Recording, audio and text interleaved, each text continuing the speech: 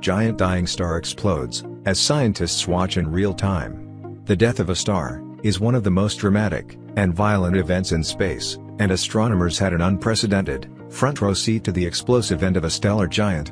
Ground-based telescopes provided the first real-time look at the death throes of a red supergiant star. While these aren't the brightest or most massive stars, they are the largest in terms of volume.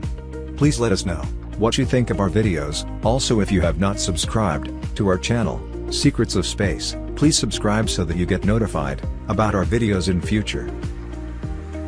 One popular, red supergiant star is Betelgeuse, which has captured interest, due to its irregular dimming. While it was predicted that Betelgeuse may go supernova, it's still around.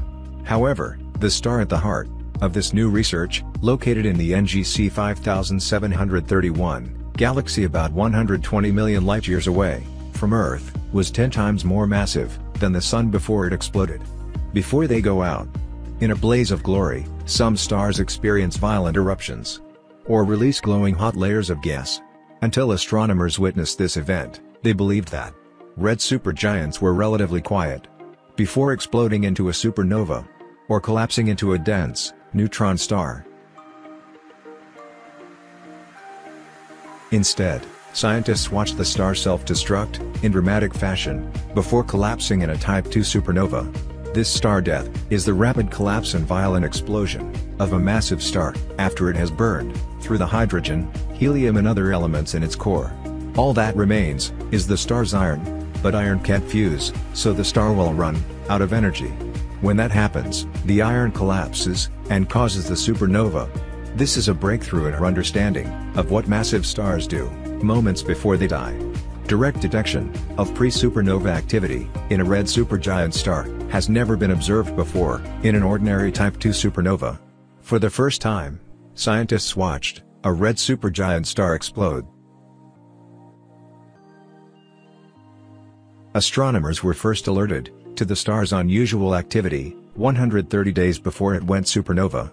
Bright radiation was detected, in the summer of 2020 by the University of Hawaii, Institute for Astronomy, Pan-STARRS telescope, on Maui's Haleakala.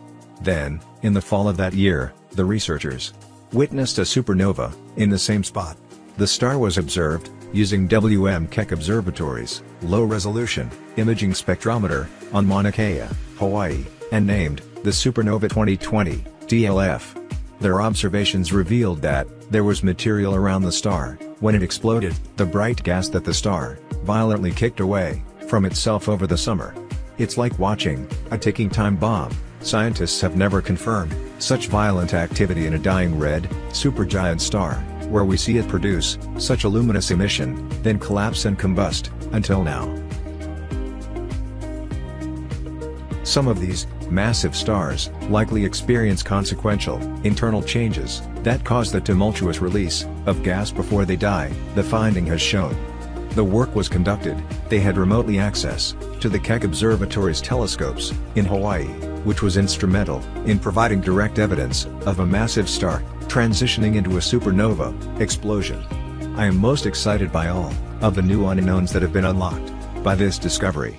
Detecting more events, like SN 2020 TLF, will dramatically impact how we define the final months of stellar evolution, uniting observers and theorists in the quest to solve the mystery on how massive stars spend the final moments of their lives.